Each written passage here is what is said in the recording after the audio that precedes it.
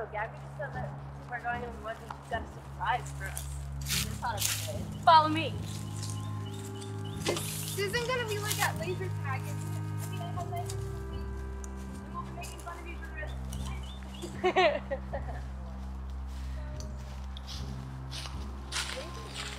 Ethan is so drunk. He oh, is not. I have no idea so what you guys seen him. Not. He's got trip. Gross No, it's couple. not. You're so attracted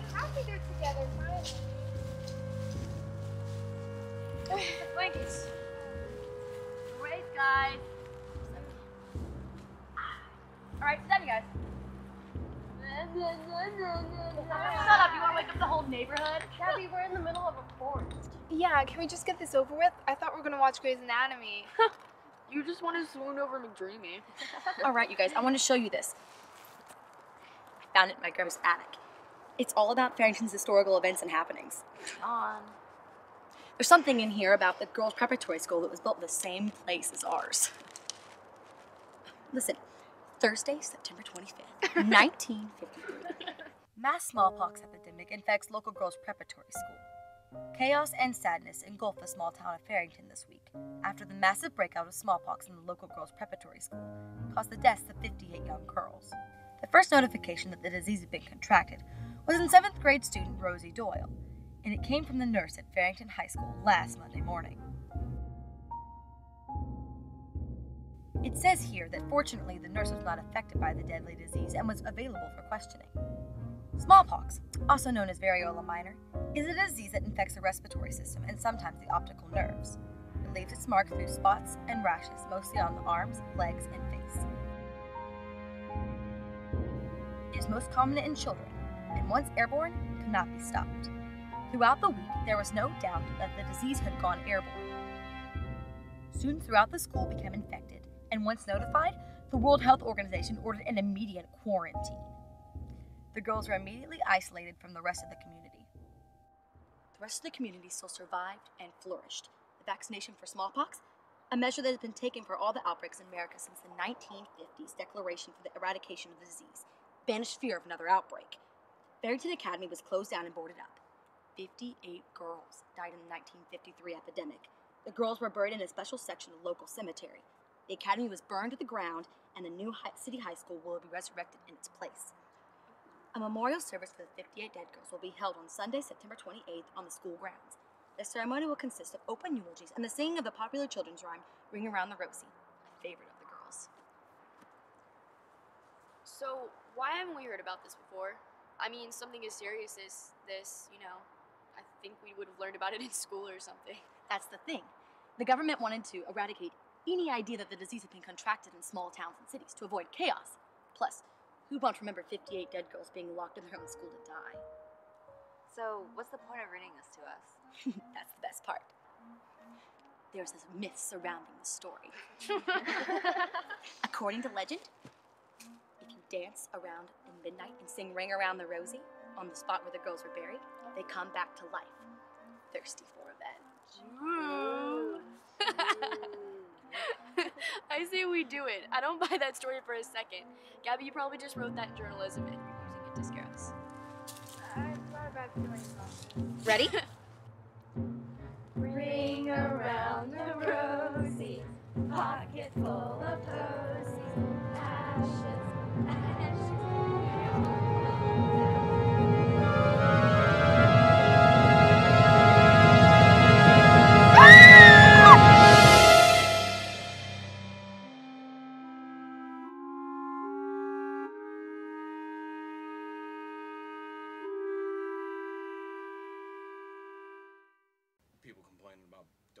Barking, whimpering. Uh, problem's gotten so bad, we've decided to uh, call in our own special animal. Girls, you better get up or you'll sleep through the lock-in. Today, Mr. Uh, Randy. Girls. Randy?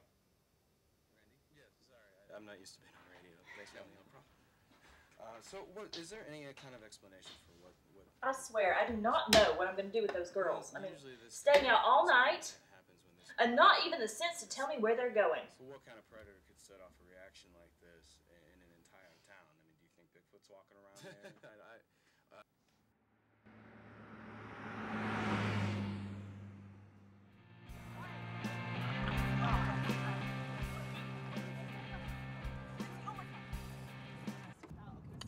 just shut up for like 10 seconds, can you? My personal affairs do not concern you. All right, look. I'm asking one simple question, okay? I don't care, Lindsay. Just keep quiet and go mingle with your freaks. Oh, Lindsay, you forgot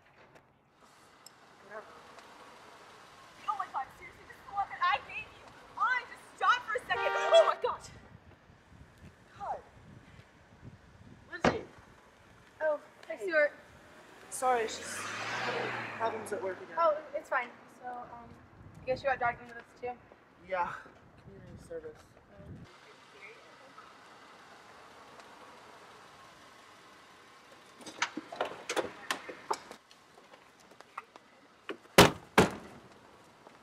Alright, I guess I'll see you inside, buddy. Seriously, Mom, why did you have to pick her? Surely there were other foreign kids in her program. Now you watch over Anne Marie. She is your responsibility. Don't just ditch her. Introduce her to your friends. But Mom, she's so weird. No buts. And be nicer to her. If you don't, then you're grounded for the next But month. Mom, the Hollywood Undead concert's next week. Then I guess you won't be going. Ugh, fine. And hey, don't forget to brush those teeth, young man. You hear me? Come on, Mom, you're embarrassing me. Why can't you just let me drive myself? Because I'm not the one who chose to wreck the car last week with his friends when you went for a two in the morning joyride. So give me a kiss goodbye and get your butt in there. But Mom! No, Ethan O'Brien. If you don't give me a kiss goodbye, um, you're never gonna see another car. Love you, Mom. See ya. Have fun. Well, your mother seems nice. Drop it, Megan. I mean, I'd be proud.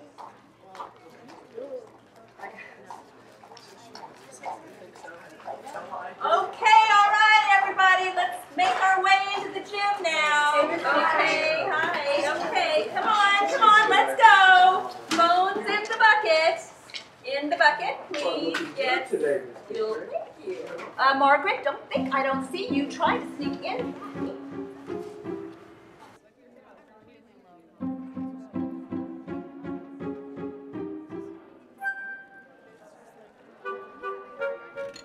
Jesse, who's the friend? Oh, this is Anne Marie. She's an exchange student staying with me.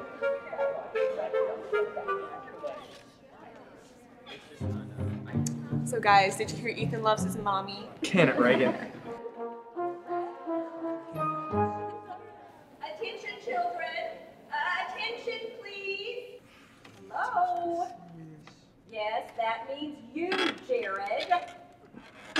Jesse if I see one more paper airplane soar through this auditorium.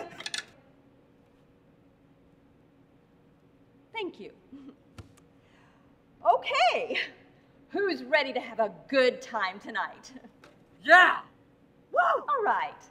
Good to hear. Well, before we start, I have to play the teacher for a few minutes and go over some of the rules with you all. Uh, uh, uh. No whining. Sit there and take it, like the mature students that I know you are. Um, hello? Uh, you, Missy in the back.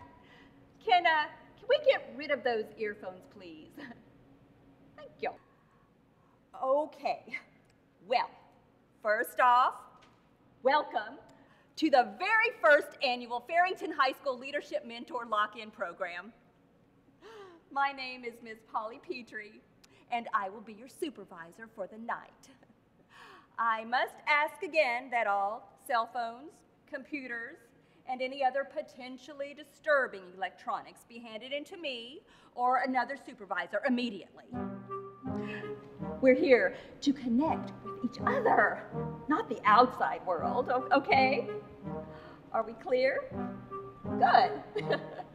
now, the boys will be sleeping in the boys' locker room, and the girls will be sleeping in the girls' locker room. Any uh, mixing of the sexes after curfew will be met with repercussions. Understand? Well, alrighty then, children.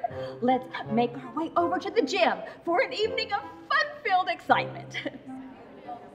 Now,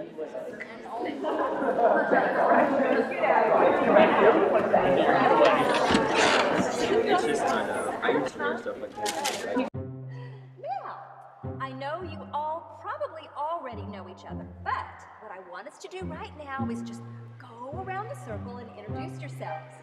Just tell me something neat about your lives, just anything at all. Okay? Okay, let's uh well let's just start right here with Lindsay. Um, hey. I'm Lindsay Sullivan. And uh, I paint. Well, now Lindsay, that was very good. Next, um, Stuart, tell us something interesting about yourself. Um, hey, I'm Stuart Robert Andrews, and I enjoy long walks on the beach, Sylvia Plath, and season six reruns of Battlestar Galactica. Well, aren't we a colorful bunch?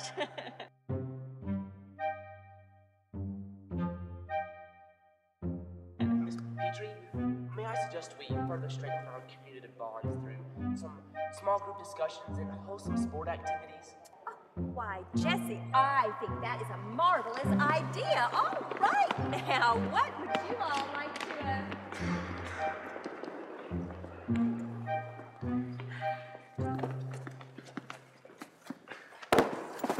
Hey guys, how's this for some wholesome activities? Dude, that's awesome. What do you say we go mess with that Anne Marie girl? No way, man. She'll like summon the dead on us or something. Come on, she's not that scary. Nah, Jesse, he's right. How about we go scare Veronica? She's the biggest wuss I've ever seen. Yeah, remember that time in biology last year in the dissection? Yeah, yeah, yeah. Whatever. Come on, you guys. I've got a plan.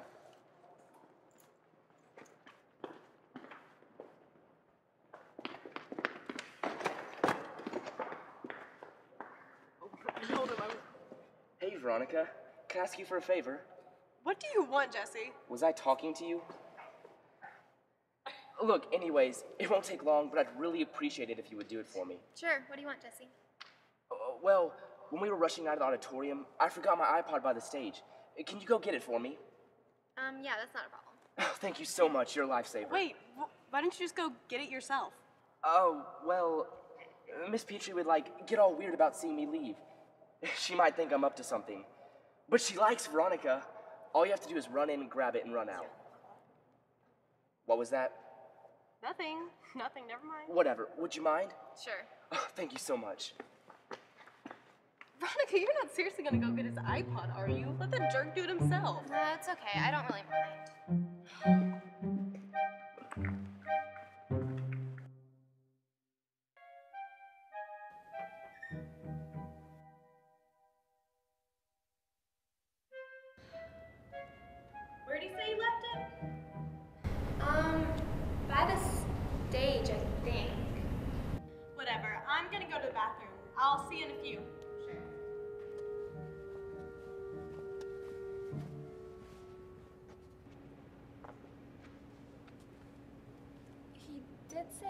stage, right?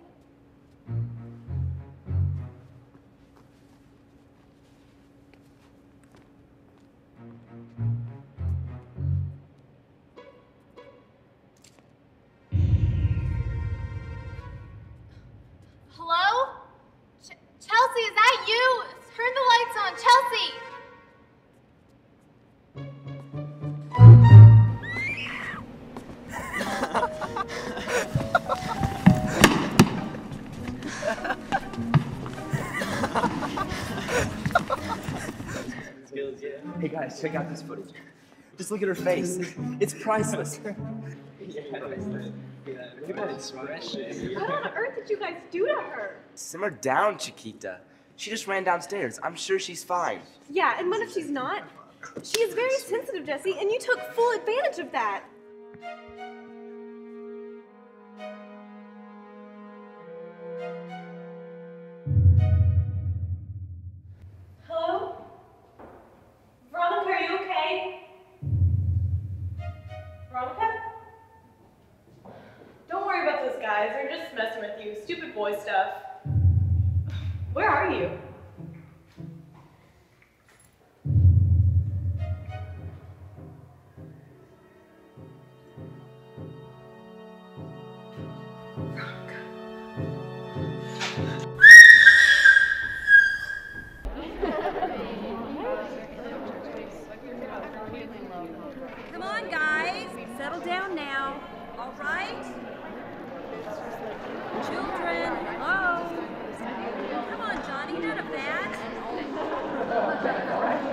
Children exhaust me.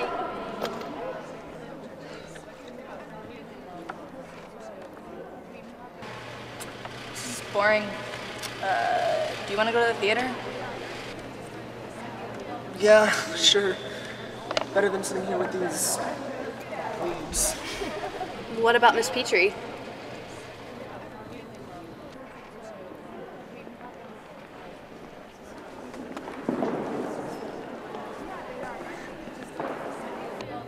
It. Miss Petrie's conked out.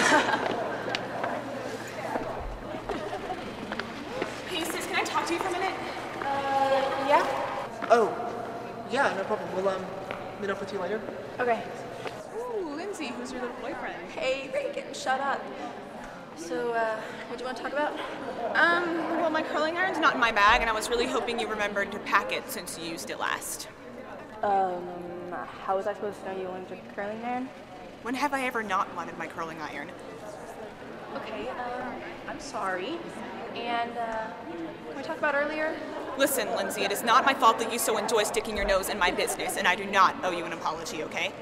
Actually, I, I was gonna apologize, but, um, Well, whatever. Have fun with your little freaks. and you're supposed to be the older sister. John, let's play some b-ball. Yeah, good idea, dude. Hey, you're probably gonna need a ball, right? Yeah. Hey, where are those? I think there's some downstairs. I can help you look for them if you want. Actually, I don't know where those balls are. Oh. Well, how about Karen and John go look downstairs, and I'll go look with you upstairs. Oh. Oh, yeah, right. Upstairs. Hey, Karen, John, we'll uh, catch you later.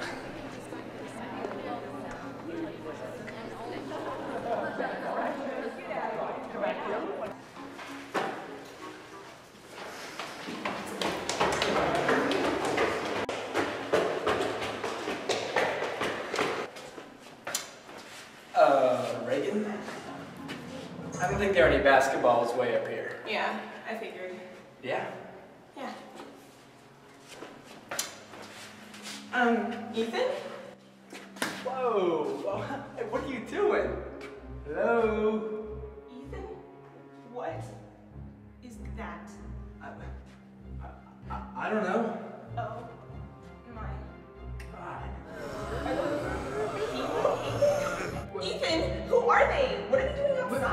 I don't know. Your guess is as good as mine is. Oh my god, Oh my god, Ethan, look, they're right outside.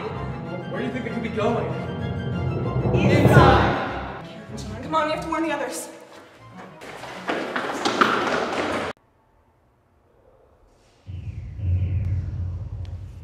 Oh, you kids and your angry music? What are you all? Children? Hello? Anybody? Why in tarnation are all these lights off? Hello? Reagan? Ethan? Stuart? Now, if this is a prank, Jesse Michaels, if you're behind this, you better count on a phone call home, young man. Hello? Children, this is not funny. If you all don't fess up right now, there will be repercussions. S- suspension for all of you. Shame on you. And at a mentoring program, too.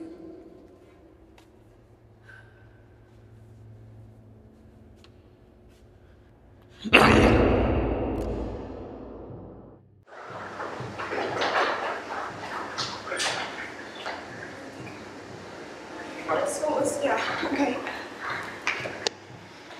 Karen, John, get over here quick. Oh, look, Karen, the lovebirds decided to return to the nest. John, Karen, I'm serious. Get over Bye. What's your problem, Reagan? You look like you've seen the devil. That's person. Guys, watch out, turn around. Aw, cutie. I see you're trying to.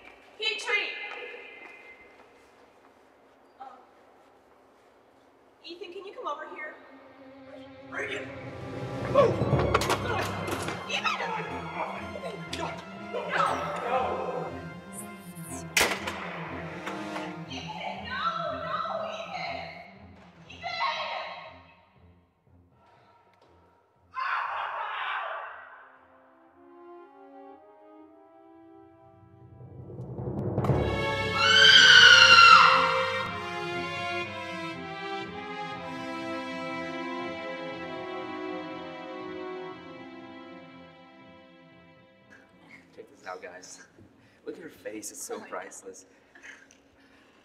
Hey, Reagan. Shut up, Jesse. Whoa, freak out a little, why don't you? Just just where's Lindsay? She went to the basement with the other girls to take a shower before bed. Oh my god, downstairs? They can't go downstairs. Why?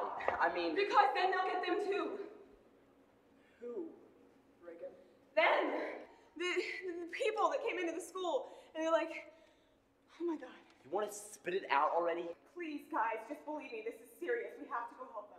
So wait, you want us to go downstairs to the locker rooms with you? Let me get my camera.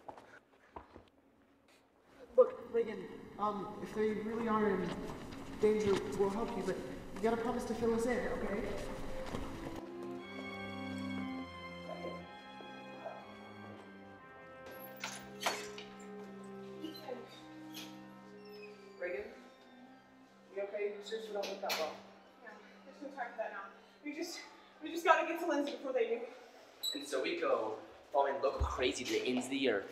Find upon arrival? No one knows. Dun dun dun.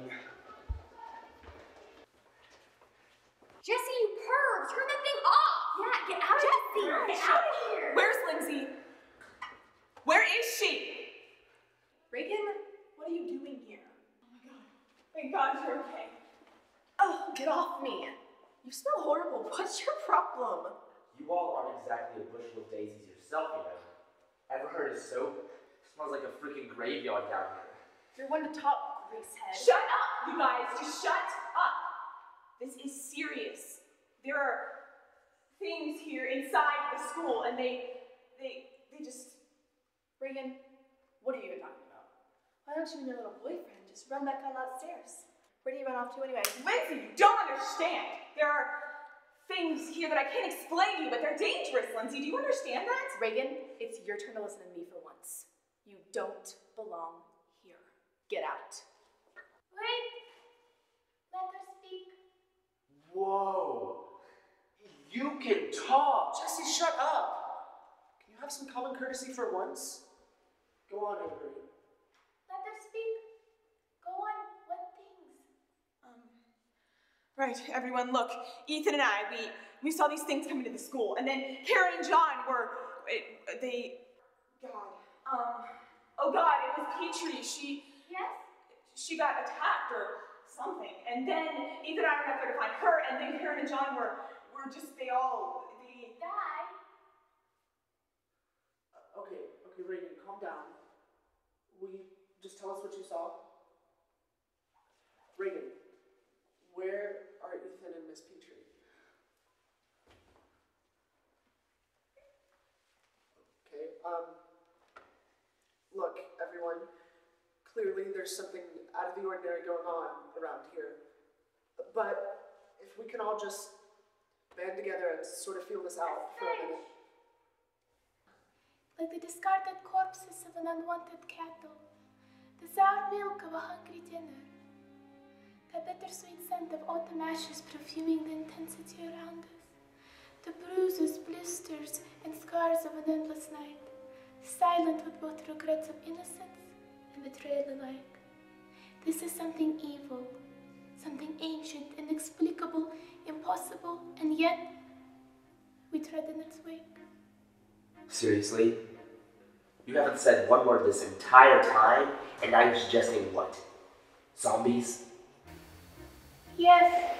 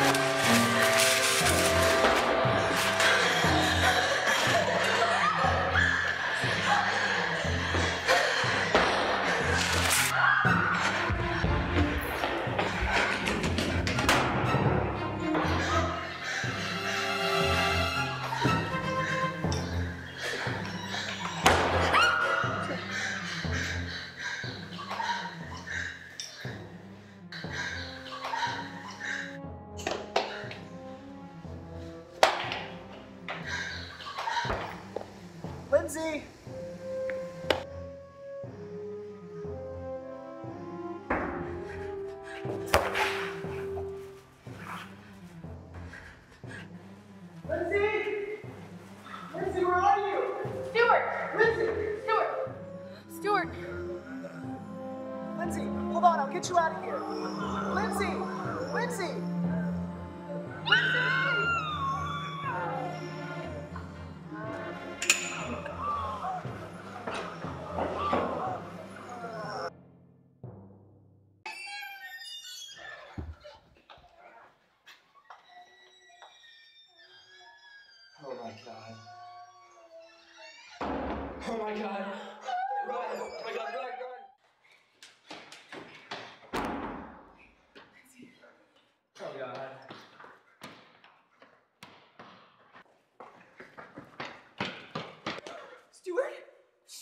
You okay? Where's Lindsay? Don't. Don't tell me. Megan. I'm so sorry. Let me go! Look, Lindsay! there's nothing you can do anymore. She want you to make it out alive. You know that. But I can't leave her! But if you go back there, you're not coming back. And neither is she.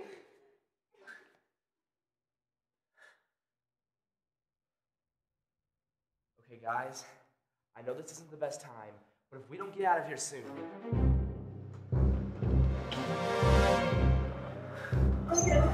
Guys, look at me. I know. Just follow me.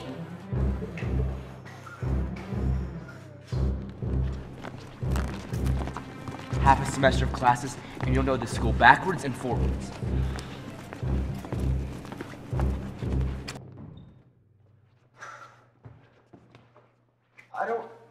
Suppose you care to tell us where you're taking us.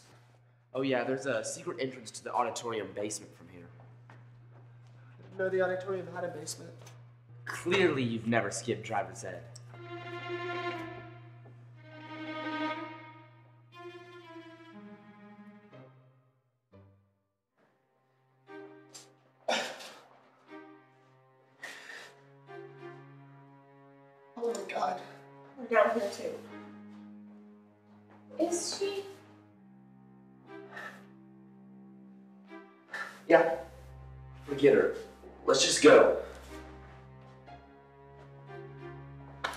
Somebody turn some lights on.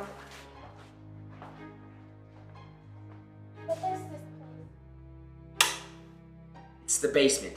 Man, somehow I think I've established that already.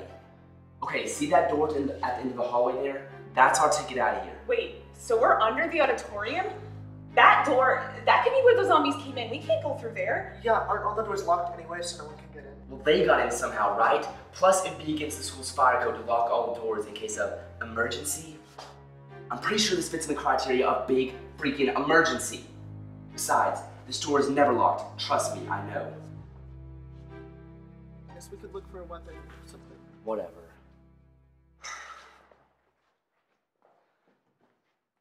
Hope is lost, isn't it? Hope's never lost, it's just pushed to the back of the mind. Without hope, that tiny, fleeting notion of perpetually intangible perfection, that utter drive and willpower to overcome the impossible, we forsake that which truly makes us human.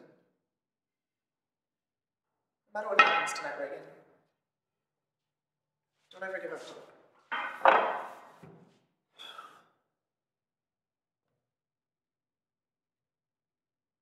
Everybody, look. Oh my god, is that you? Are you okay? Guys, guys, we have to help her. What happened to you? Down here, this means just really coming. Oh my god. Don't, oh my god, touch me. Reagan, get back! Look, she's infected. She's not like the others. Transformation's incomplete. She can still communicate, so some of her mental being can still function, but she's definitely dangerous. Margaret. He's right. Just get out of here. Save yourselves. Margaret, no. We are not leaving you. Stuart, tell her. Tell her we're not leaving her, Stuart. Tell her right now. Reagan. Reagan, he's right. I'm too late. Margaret. Look at me. Jesse, get back! Look, she's not safe anymore, alright? There's nothing more we can do about it. Stay back. Stay back. Here. Take this. Use it. Margaret, no. Please don't. Don't. Go. We can never turn back. We will never. I'm sorry. Here, look, Marie. If I were you, I'd seriously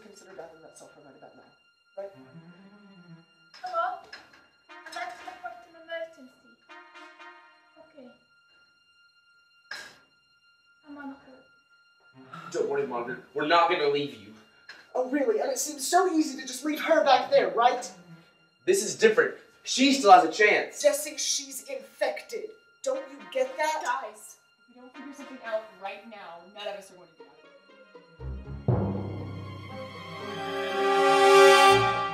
here. Margaret, please, look at me.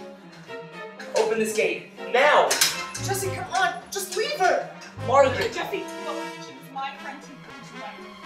No turning back.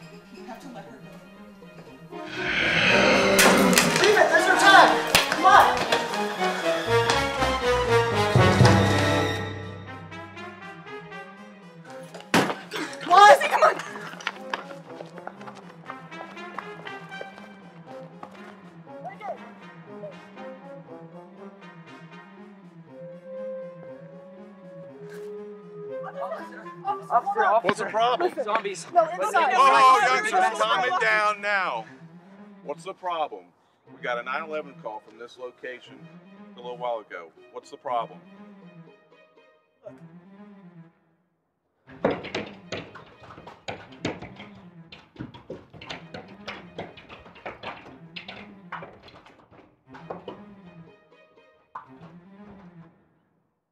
What exactly is